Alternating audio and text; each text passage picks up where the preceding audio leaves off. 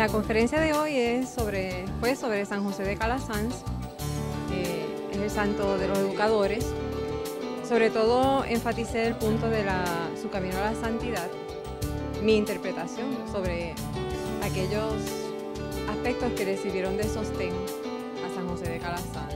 Concepto del tiempo, el que él aceptó que su tiempo no era el más importante, sino que era el tiempo de Dios y supo esperar La educación, concepto de educación que nos conduce hacia la libertad. La libertad que nos lleva a la verdad y la verdad finalmente que es lo que nos hace libres y santos. Lo más importante es resaltar su adhesión a la iglesia, como decía el padre Lázaro.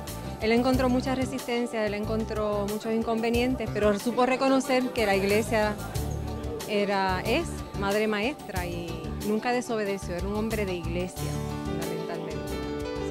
aceptamos a Jesucristo como nuestra verdad, como nuestro criterio, Él responde, responde a todo. Cuando buscamos otros criterios, como decía el Padre Lázaro, otros pequeños dioses nos sirven en pequeñas parcelas, en parcelas específicas. Dios responde a todas nuestras necesidades.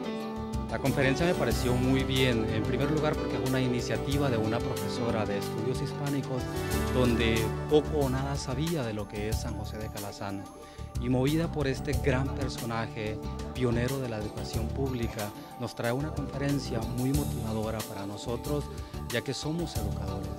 Para mí San José de Calazán es una figura tan importante en mi vida, ya que es quien me ha movido a seguir su ejemplo. De una otra manera sabemos de que Él siguió a Jesús. Entonces nosotros de una manera particular seguimos a Jesús a través de San José de Calazán.